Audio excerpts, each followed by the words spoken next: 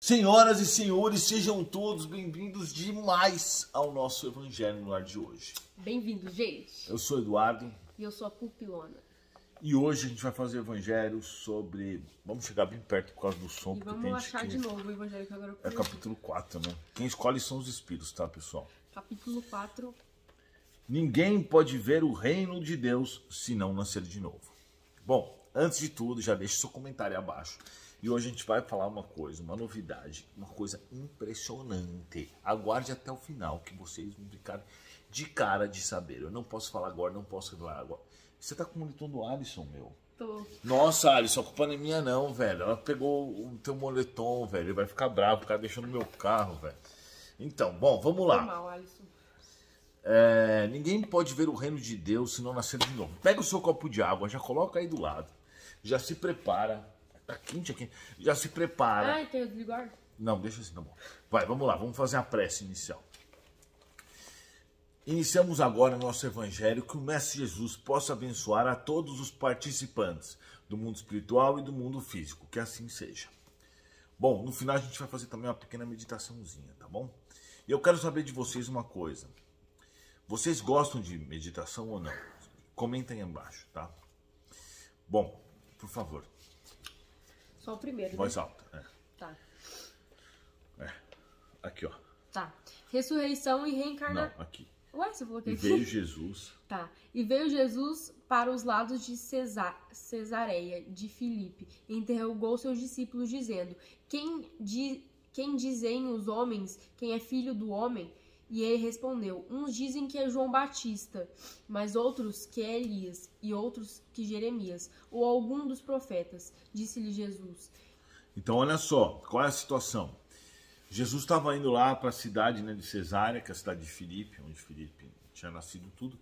E aí, Jesus falou assim: Apóstolos, quem que estão dizendo por aí que sou eu? Olha a pergunta de Jesus. E aí eles respondem: Bom, uns dizem que é João Batista, outros que é Elias, e outros que é Jeremias, ou alguns profetas. Então, olhem só, isso é reencarnação total, porque João Batista tinha morrido e os outros também tinham morrido. Então, o que, que as pessoas naquela época pensavam e acreditavam na reencarnação ou na ressurreição? João Batista tinha morrido há pouco tempo, então você vê que eles acreditavam, mas era um pouco confuso isso. Mas claro que fica muito claro aí que eles consideraram em algum ponto, né, na verdade todo mundo considerou, que Jesus era alguém que já tinha morrido antes. Por favor. Disse-lhe Jesus: E vós, quem dizeis que eu sou? Respondendo Simão Pedro disse: Tu és o Cristo, filho de Deus vivo. E respondendo Jesus disse: Bem-aventurado és, Simão, filho de Jonas, porque não foi a carne e o sangue que te revelaram isso, mas sim meu Pai que está nos céus. Então, olha só. Então, Jesus fala: E vocês, quem vocês acham que eu sou? Aí Pedro, né, o apóstolo, que na verdade é meu mentor hoje em dia, falou, responde assim: ah, Tu és o Cristo, o Filho de Deus, vivo. Ou seja, você é Jesus, Filho de Deus. E aí Jesus fala o quê? Ah, não foi a carne e o sangue que te revelaram isto, mas meu Pai que estás no céu. Ou seja, foi uma revelação mediúnica. Ele está falando que não foi o corpo físico. Johnny! Não foi o corpo físico que revelou isso. E sim o mundo espiritual. Meu Pai que estás no céu. Porque todo bom espírito trabalha em nome de Deus. Então, quando ele fala, meu Pai que estás no céu, ele está falando, os espíritos do plano espiritual te revelaram isso. Não foi uma revelação física, uma revelação material, uma revelação biológica, um conhecimento que estava na mente dele, e sim um conhecimento vindo do mundo espiritual. Continua. E chegou Herodes, o, te, o tre, tetraca, ter- Tetarca. tetarca, a notícia de tudo o que Jesus fazia e ficou quieto. Porque diziam uns, é João que ressurgiu dos mortos, e outros, é Elias que apareceu, e outros, é um dos antigos profetas que ressuscitou. Então, então disse Herodes, eu mandei antigos profe eu mandei degolar a João, quem é, pois este de que ouço semelhantes coisas, e buscavam a ocasião de ouvir. Entenderam? Então o que acontece? Chegou para Herodes essa notícia de que Jesus estava fazendo um monte de coisa. E aí ele ficou inquieto porque alguns diziam que, é, que era João que tinha ressurgido dos mortos, ou que era Elias que apareceu, ou algum dos antigos profetas que ressuscitaram. Então eles acreditavam em reencarnação e em ressurreição também. Né? Então eles era um pouco confusa essa ideia, mas sim, a reencarnação estava aqui. Então, uh, vai, continua agora o último texto aqui. Após a transfiguração, e os discípulos lhe perguntaram, dizendo: Pois por que dizem os escribas que importa vir a Elias primeiro? Mas Jesus respondendo disse: Elias certamente há de vir a, resta a restabelecer e restabelecerá as coisas. Digo vós, porém, que Elias já veio e, ele e eles não o conhecem. Antes vieram dele quanto quiseram. Assim também o filho do homem há de pedecer as suas mãos. Então compreenderam os discípulos que era João Batista que Jesus lhe falara. falara. Então, olha só. Então vamos lá. Após a transfiguração, transfiguração foi aquela situação que Jesus apareceu e que Elias e Moisés foram visitar ele no monte e que eles estavam e Jesus estava com as vestes muito bonitas e tal, porque Jesus estava desdobrado. Então Jesus desdobrou e estava conversando com eles em espíritos e os espíritos e os apóstolos viram, né? Mas ele está falando aqui. Uh, por que dizem os escribas que Elias tem que vir primeiro? E Jesus respondendo lhes disse: uh, Digo que Elias já veio e eles não reconheceram. Ou seja, Elias reencarna, reencarnou como quem? Vamos ver aqui. Antes fizeram dele quanto quiseram, assim também o filho do homem, que há de padecer em suas mãos. Olha a frase, olha a, final, a frase final. Então compreenderam os discípulos que era de João Batista que Jesus lhe falava. Ou seja, João Batista é a reencarnação de Elias. Quem está falando isso é Jesus, não sou eu, Eduardo. Nem a pupila e nem Allan Kardec. É Jesus. Então vocês prestem atenção que a reencarnação está claramente uh, na Bíblia. E tem outros pontos também que a gente já sabe, que a gente já conversou sobre isso, mas, por exemplo, como aquela hora que Jesus vai curar o cego, né? Eles falam assim: Mestre, o que este homem fez, ou os pais dele, para que ele nascesse cego? Como que o cara pode ter feito uma coisa para nascer cego se ele não teve uma vida anterior a essa? Então é muito importante a gente refletir sobre isso, que a reencarnação está assim em vários pontos da Bíblia. Ou na conversa com Nicodemos, que Jesus fala o que é da carne que é da carne, o que é do espírito do espírito. Ele fala que é preciso nascer de novo para chegar né, ao plano superior. Então tem vários pontos que realmente a reencarnação está na Bíblia. Embora em alguns momentos a ressurreição está confusa. Então, Allan Kardec fala sobre isso depois no texto, né? Mas a gente já, como a gente já comentou, a gente não vai falar. Mas se vocês quiserem, vocês podem ler. Inclusive tem uma parte aqui, eu vou ler a parte do Nicodemos aqui. Havia um homem dentre os fariseus chamado Nicodemos, senador dos judeus, que veio a encontrar Jesus e disse: Mestre, sabemos que vieste da parte de Deus para nos instruir como um doutor pois ninguém poderia fazer os milagres que fazes se Deus não estivesse com ele. Então Nicodemos chegou para Jesus e falou assim: Jesus, a gente sabe que você veio de Deus, porque senão você não conseguiria fazer esses milagres, né? Uh, porque só os bons espíritos que vão conseguir fazer isso. Então os bons espíritos vieram de Deus. Jesus responde: Em verdade, em verdade vos digo, ninguém pode ver o reino de Deus se não nascer de novo.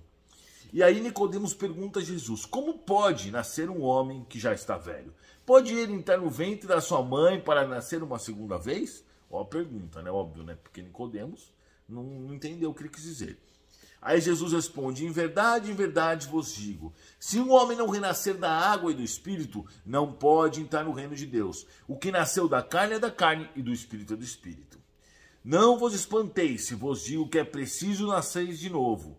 O Espírito sopra onde quer escutar a sua voz, mas não sabeis de onde vem nem para onde vai. Ocorre o mesmo com todo homem que é nascido do Espírito. Olha então o que Jesus está dizendo. O que é da carne é da carne e do Espírito é do Espírito. O que você entende disso? Que há uma diferença entre as coisas do, do plano espiritual de Deus e as coisas do homem. Isso. Então, a reencarnação é uma, é uma, é uma questão. O, o que o Espírito é separado disso. E depois Jesus fala. O espírito sopra onde quer escutar a sua voz, mas não sabe de onde vem nem para onde vai. É uma encarnação. Quando você reencarna, você não sabe de onde você veio e nem para onde você vai. Então Jesus deixa muito claro isso daqui aqui, né? E aí no final, Nicodemos perguntou: "Como pode isso acontecer?" Aí Jesus fala: Sois mestres em Israel, ignorar essas coisas. Em verdade, em verdade eu vos digo que apenas dizemos o que sabemos e apenas damos testemunhos do que vimos, e entretanto não recebeis nossos testemunhos. Mas se não acreditai, vos falo das coisas terrenas, como acreditai quando vos falar das coisas do céu? Ou seja, né, Jesus está falando assim, ó, vocês são meio burros aí hoje em dia. Se você que é o cara que é mestre Israel não entendeu o negócio, não adianta eu querer falar das coisas do céu. Se vocês resumindo. Se vocês não, são mais presos nas coisas da terra. É, não adianta eu querer falar do mundo espiritual se vocês ainda não entenderam nem as coisas da, da terra. terra. Isso. isso. Então, assim, é muito importante a gente refletir. Depois tem um texto que aí Allan Kardec faz uns comentários sobre esse, esse pedaço da Bíblia. Mas, obviamente, assim, que além desses outros, além disso, tem muitos pontos que você pega ali minuciosos, que você percebe que eles falam sim de vida após a morte eles falam sim de reencarnação, tirando aquela, aquele vídeo que a gente já fez do Concílio de Constantinopla, que deixa muito claro que uh, a Bíblia foi adulterada. Né? Tinha mais textos, né? Do, sim, tinha mais textos, já fez esse vídeo, né, recentemente. É. É, tinham mais textos da reencarnação e no segundo Concílio de Constantinopla, Tirada. o imperador Faustino, né? Não, Júlio. Júlio, a, a esposa do cara era Faustina, né? ela, ela removeu, ela pediu para que o imperador removesse esse texto da Bíblia. Então tem um vídeo aí, vocês procuram aí, né? Não sei se era esse nome Faustina, não. Não faço, não, os outros vão achar Acho que, que é Faustina sim, mas tudo bem, vamos lá. Então é isso, pessoal. Vamos fazer ensinamento. Quer falar alguma coisa? Eu não, já falei tudo que eu queria. Tá. Então, reencarnação, todo mundo ficou claro. Vamos lá. Agradecemos muito a todos os bons espíritos que vieram aqui conosco, que realizaram esse evangelho. Pedimos para que Jesus abençoe e ilumine todos os nossos amigos, tanto do plano físico como do plano espiritual, que estão realizando esse estudo, mesmo que não seja ao vivo, mesmo que seja depois, seja outro dia, outro ano, não importa. Que os bons emissários de Jesus possam visitar e dar as bênçãos necessárias, que assim seja. Vamos fazer agora uma meditação rápida que a gente está fazendo, né? O que eu vou pedir para vocês é o seguinte, tá? Vamos imaginar, uh, vamos fazer uma meditação da cura. Muitas pessoas fizeram e estavam com dor de cabeça, passaram, estavam se sentindo mal. Que é o seguinte: vocês vão imaginar que vocês estão numa aura verde, tá? Vocês vão imaginar como se fosse um fogo verde. A pupila já começou, pode fazer isso na tua casa. Você fecha o olho com bastante tranquilidade e vai se imaginar num fogo verde em volta de você, não muito para frente, mas realmente em volta, como se fosse uma chama mesmo. Sabe uma chama de uma vela? Isso daí, você vai imaginar aquele fogo verde saindo do seu peito, expandindo em volta do seu corpo, de uma forma assim suave, mas ao mesmo tempo agressiva, uma agressividade no sentido de grande força energética, né? Você vai colocar sua energia realmente nisso. E aqueles que precisam ser auxiliados para a cura, etc., serão nesse momento, porque os bons espíritos, a minha equipe espiritual, que tem mais ou menos 400 a 500 espíritos agora, está atuando, quando a gente faz essas meditações, está atuando para auxiliá-los. Tudo bem então? Ok, então. Isso você pode fazer também ao acordar, antes de dormir, mas sempre com um bom pensamento, em boa vibração. Então o que eu ia falar para vocês era o seguinte, que nós estamos lançando, peraí, deixa eu pegar algumas coisas. Fala aí da loja. A gente está lançando, gente, nossa loja, Loja Chama Violeta. Vai lançar amanhã, né? Hoje. Hoje, vai lançar hoje. E vai ter várias coisas legais. Vai ter camiseta do Espiritismo Raiz, camisetas com frase do Eduardo, do Chico Xavier, é, caneca, canequinha bem legal. E vai ter peças de resina, que a Pupilona faz algumas, né? Não todas. E vai ser bem legal, gente. Vem, Eduardo. Vai que... adesivo. Adesivo! Na verdade, assim. Garrafinha. Qual é o, o, intuito dessa loja? Óbvio que sair perto dos meus negócios não vai dar grana nenhuma, né? É. E a gente quer fazer o quê? Construir uma série de empresas que possam doar parte dos seus lucros para fazer a caridade. Então, isso daqui, ó, por exemplo, uma garrafa que vende na nossa loja. Gela muito. É. Muito. É um potinho maroto que eu mesmo, a gente que fez, fala aí. Pupila que Esse fez. eu que fiz. É, ela que fez. Alguns eu fiz também. Bom, eu que inventei, na verdade, os espíritos que inventaram. O negócio aqui de incensário com as cores do chakra. Aí tem as canecas, pega uma camiseta, tem as canecas, é que a gente estava tirando foto agora, antes, para poder colocar no site.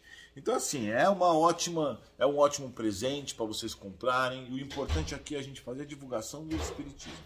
Porque você tá lá vendo essa caneca, todo dia você vai se lembrar de alguma coisa boa, etc. Né? Então, essa é a ideia. E as resinas são peças bonitinhas que, meu, Ó as camisetas dela. Ó, eu trouxe mais, mostra a camiseta. Esse licenciário aqui, ó, da chama violeta, super bonitinha. Para mulher e para, para homem. Ó, e atrás está escrito Espiritismo Raiz. E aqui na frente tá uma, uma frase. Aí tem P, M, G, GG. Olha isso aqui, que bonito, gente. Imagina você comprar isso aqui. Eu fiz esse, a pupila fez esse. E também tem, como que chama isso aqui mesmo? Pirâmides, organite. Organite que é uma coisa bem bonitinha. Eu gosto disso aqui porque assim, você coloca isso na sua casa e você, eu quero que isso seja um símbolo de reflexão para você. Porque isso aqui, querendo ou não, primeiro que tem pedra, né? Que tem uma, já tem uma energia boa que a gente carrega ela aqui. Segundo que isso daí você, você acaba assim, vamos dizer, relacionando isso à sua reforma íntima. É isso que eu gostaria de fazer, que você relacionasse isso à sua reforma íntima, aos seus bons pensamentos, às boas ações. Então, a hora que você lê, que, isso, que você vê, que você que isso possa te trazer a paz. Na verdade, eu não pensei no que ia falar, né? A gente está criando tudo do nada. Uh, que isso possa realmente trazer a paz para você, trazer a boa vibração, lembrar do Evangelho, lembrar de Chico Xavier, lembrar das coisas boas de Jesus. Então, essa é, essa é a ideia, né? Esse é o princípio. E aí é isso aí, galera. Então, ó, loja, loja Chama Violeta. Chamavioleta.com, não é .com.br, tá? É .com. Aí lá você pode passar no cartão, no PayPal, o frete é fixo, então eles colocaram o frete por região. Uh, é, é, até barato o frete e você pode comprar lá, fica à vontade. E lembra depois de você comprar de marcar a loja no Instagram, que é loja chama Violeta. Não esquece de colocar. E é bom também você comprar se você quiser fazer a caridade, né? É, porque eu... a gente vai, vai pegar uma parte da é. grana e vai doar para caridade. Você já vai estar tá sabendo que seu dinheiro está indo Isso é verdade. ajudar é, os outros. Que esse é o princípio, né? É. Então é isso, pessoal. Não se esquece de beber a sua água, porque a gente tem o evangelho, a gente vai beber aqui. Muito obrigado, valeu e até a próxima.